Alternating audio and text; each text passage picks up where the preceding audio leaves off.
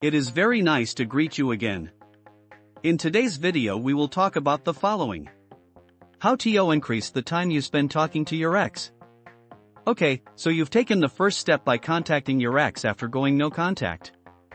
Your ex has responded positively and you plan to continue texting to rebuild attraction, connection, and trust with your ex. If you've done everything right so far, the next part should be easy for you. Here's a breakdown of things you should keep in mind. Slowly increase the time you spend talking to your ex. When you contact your ex for the first time after going no contact, you probably want to keep things calm. Once you send a first message, you should go back a few days and text him again. But this time he seeks to talk a little longer. The next time you talk, you will want the conversation to last a little longer. Do this slowly and steadily so that your ex gets used to talking to you again. You want me to talk to you first thing in the morning and before you go to bed. You want them to feel like lovers.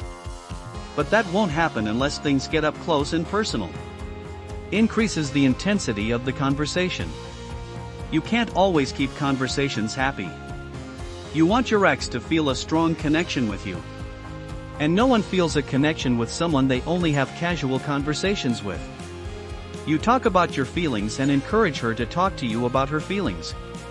You talk about your fears, desires, successes, and failures. You open up to your ex and are vulnerable. Take the conversation to a more personal medium. You should strive to be more and more personal. If you just email him right after no contact, you should text him after a couple of weeks. If you've been texting for a few weeks, you should try making a phone call. If you've been talking on the phone, you should try meeting him or her or have a video call, if you're in a long distance relationship.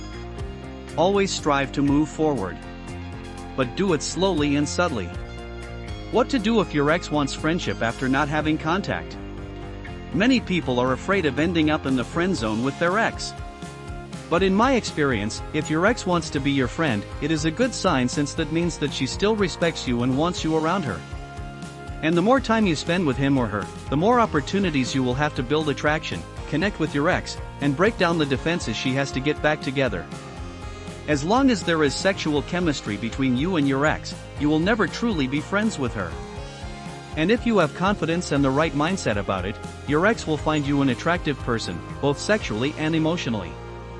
The most important thing to keep in mind is your own mental well-being. Conversations should be difficult too. Your ex may be talking to you normally and might even be showing some signs that she still loves you or wants you back. But in most cases, your ex will still have a lot of doubts about wanting to get back together. Those doubts need to be addressed, and you need to do so effectively. Remember how we talked about having the right skills and tools to get your ex back? This is where it comes into play. If you have the ability to communicate effectively in a relationship, this part will be easy for you.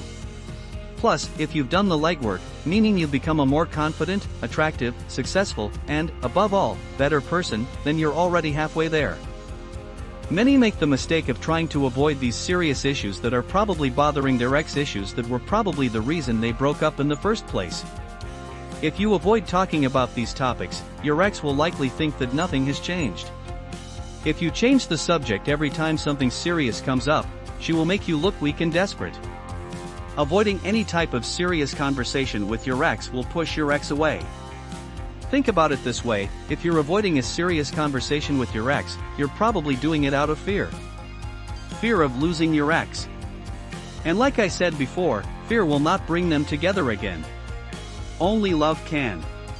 Instead of acting out of fear, she acts out of love. Show empathy and understanding by communicating. You must learn to talk about these delicate topics in a calm and rational way. If you remain calm and confident when talking about these topics, you will show your ex that you have truly become a better version of yourself as a person. Another thing to keep in mind is that you should never end these serious conversations by talking about getting back together. Hey, I've solved all the problems and now things will be different. Do you want to get back together? No. If you talk about getting back together after you've had a conversation about a serious problem between you and your ex, you end up making it seem like you've only changed to get back together. This makes everything you have done so far manipulative and insincere. You are an essential part of what we do on this channel, For this reason, we keep an eye on what you need, and if it is your desire to recover your ex correctly and effectively, you must click on the link below.